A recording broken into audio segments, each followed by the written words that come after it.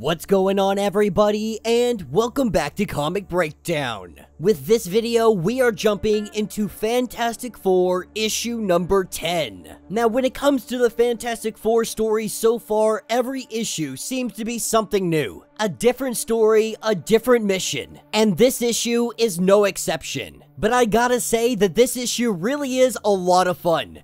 This is probably one of my favorite issues so far of North's run outside of the Doom story, which I thought was absolutely fantastic. This story is taking place over hundreds of years. And if you're asking yourself, how is that even possible? It's gonna be fully explained as we dive into this. But this story's got a little bit of everything that you would want. The manipulation of time, the science behind it, an alien race lost in space, and of course, the Fantastic Four. So make sure you guys have subscribed to the channel, make sure that you like this video, and with that being said, let's dive into this breakdown.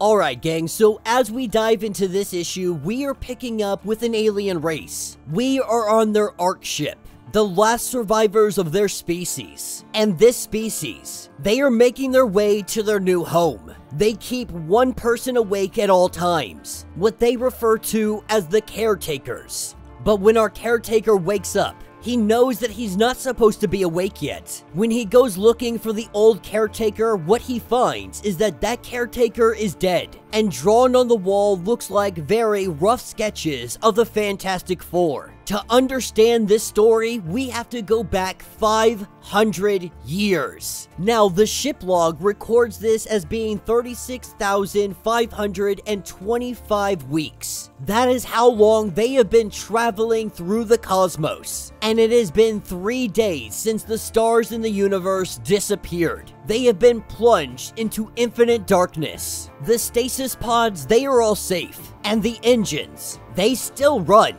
And this is a very thankful thing, because once their engines stop, you cannot restart them. But even though they are on, they have no thrust. Something seems to be holding them in place. And so the caretaker, he tries to figure out what is going on. After weeks and weeks and weeks and months, no progress has been made. This is when the caretaker sees a blinding light on the outside. Now, we know this to be Johnny, but this caretaker has no idea what this is. All the caretaker sees is an individual on fire outside of the ship. The caretaker has started recording time since the caretaker saw the flaming person outside. It has been 71 weeks. The ship's sensors do not detect him. There's a possibility that the caretaker might be losing his mind. After 160 weeks, he has been choosing rooms with portholes doing so to keep an eye on the flaming person, but still no closer to figuring out what is going on.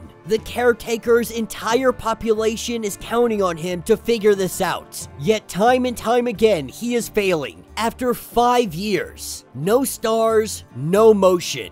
The caretaker believes that the burning figure has been speaking to him, that he can hear his voice in his head, and he rejoices, for he is good. Believing that he can save his people if he is to join the flaming figure, we see the caretaker open up the airlock, and in doing so, the caretaker goes out into space, only to die instantly. This is what takes us to 400 years ago. The new caretaker is awake, going over the logs after everything that the last caretaker had wrote down. But this caretaker has found no evidence of a flaming figure, with the last caretaker dying decades before she even woke up. She only has everything he recorded down to go by. But right now, there is a giant banging on the outside of the ship. Every 3.3 seconds, the Ark is attacked by a mysterious, strange, monstrous alien. We know this as the Thing. And so the caretaker intends to kill the Thing to take an opportunity and take this dude out. With the banging on the outside of the hole, we see the caretaker open fire.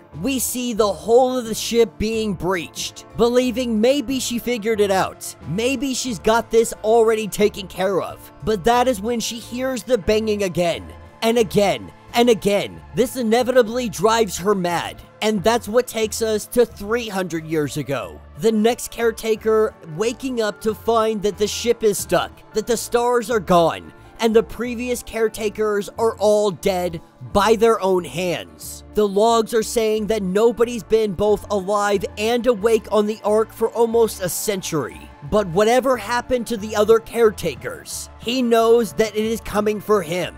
He hasn't seen a fiery figure, no rock monster, but he has been getting proximity alarms in empty rooms. Doors are opening and closing by themselves, but there seems to be a pattern. They're moving towards the core, towards the engine. But when he tries to reach them first, it's as if something is blocking him. Some kind of invisible, impenetrable wall. Now, the Ark was built to last 10,000 years. Everything's solid metal. Even if he could try to shoot through the wall, it wouldn't work.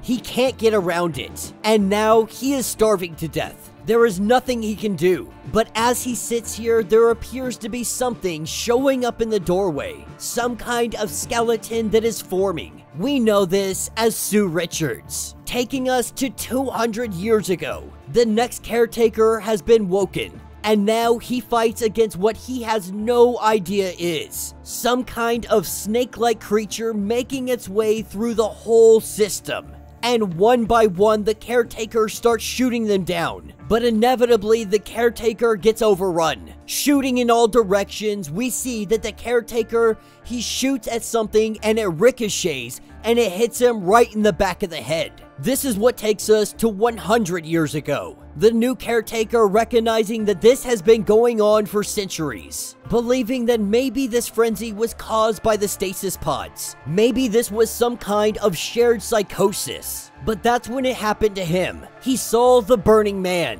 taking a moment and trying to think about this logically. Either he is going crazy like the rest of them, or this flaming man is the harbinger of madness. Either way, there is nothing he can do, and so he begins to go over what he knows. 1.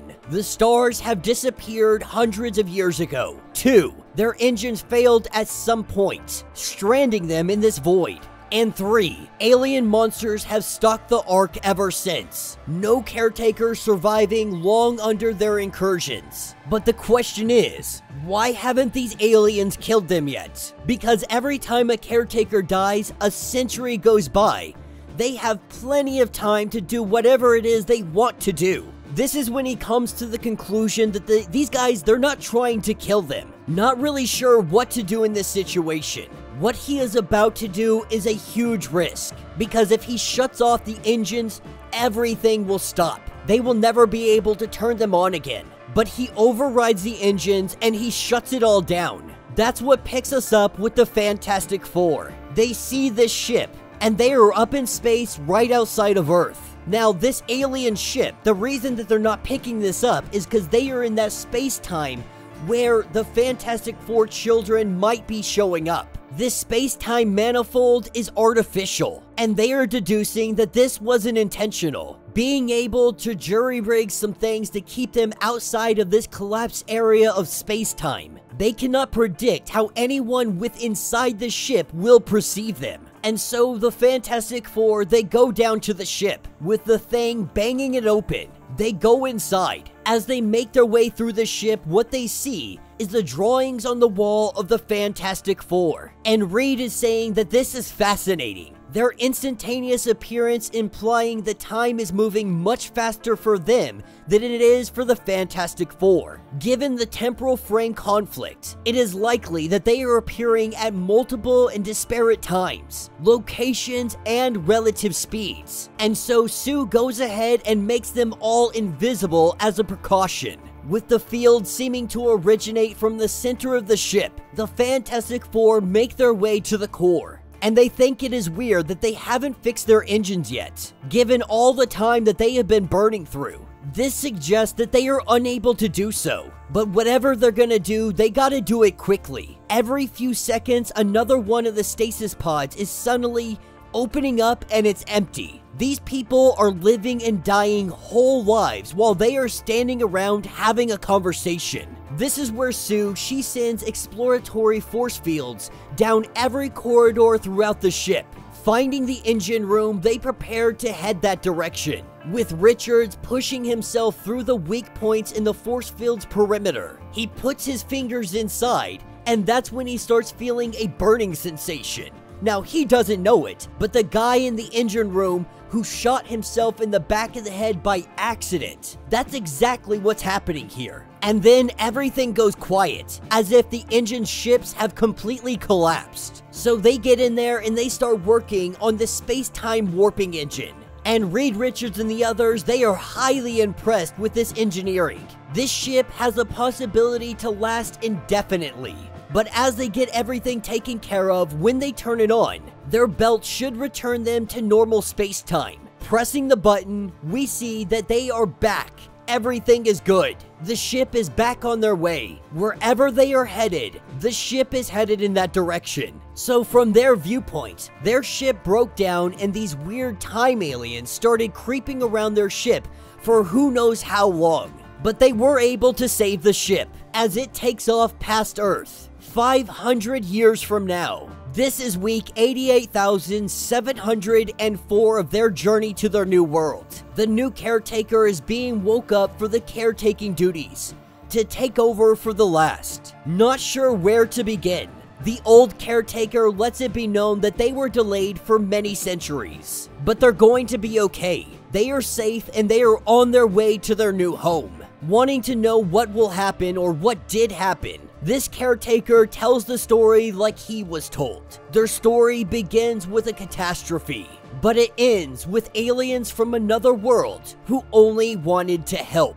This is where we see a giant mural of the Fantastic Four. And that will be the end of this issue.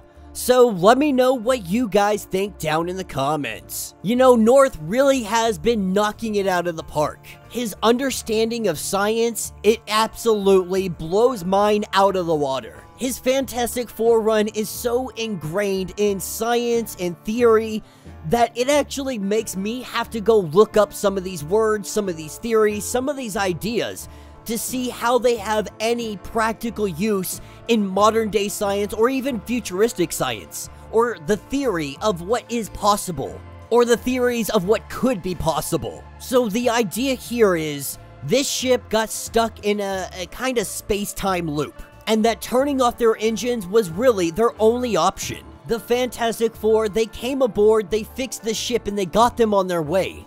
What the Fantastic Four was not aware of is that this space dilation, it took place over like 500 years. And so all the aliens on board, they only saw small pieces and fragments of what the Fantastic Four were doing. While on the outside, this took, like I said, 500 years. All they saw were small glimpses over this time period of aliens appearing to be attacking the ship.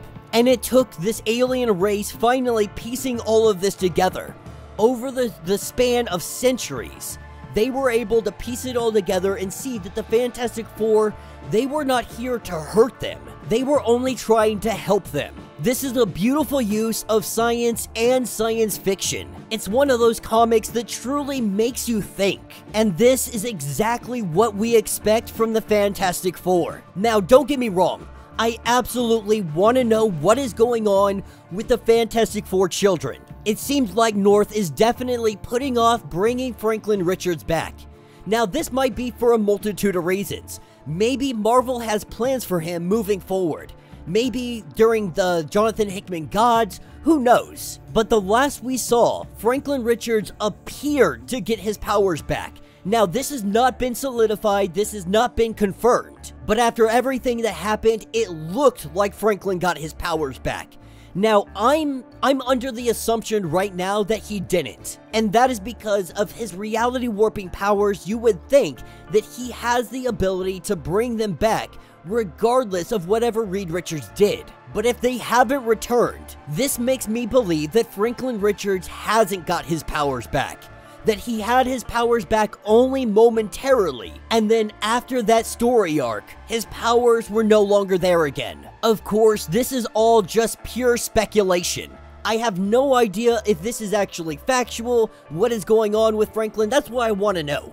That's why I wish North would really drive that forward and let us know what is going on with the kids. But, but with that being said, I am not upset that North has done these stories. While they may be mostly standalone stories all on their own, the Fantastic Four doing science and science fiction things. That's what we love about the Fantastic Four. And I think that these stories so far, most of them have been absolute bangers. But this one in particular was absolutely fantastic. And I hope that North can keep bringing it in this style and in this manner. But let me know your thoughts, let me know your theories, if you would like to get completely caught up on everything going on with this series. Be sure to check out the link in my description as well as the top of this video. It'll get you completely caught up on everything going on with the Fantastic Four. If you would like to support the channel, you can always do so by joining the channel membership. Much like Patreon, having multiple different tiers, from $1 to $50, from loyalty badges to comics every single month. Not only are you helping out the channel tremendously, but you are getting tons of perks in the process. If you are unable to do this, do me a favor, subscribe to the channel, like this video, hit that notification bell, and with that being said, until the next breakdown.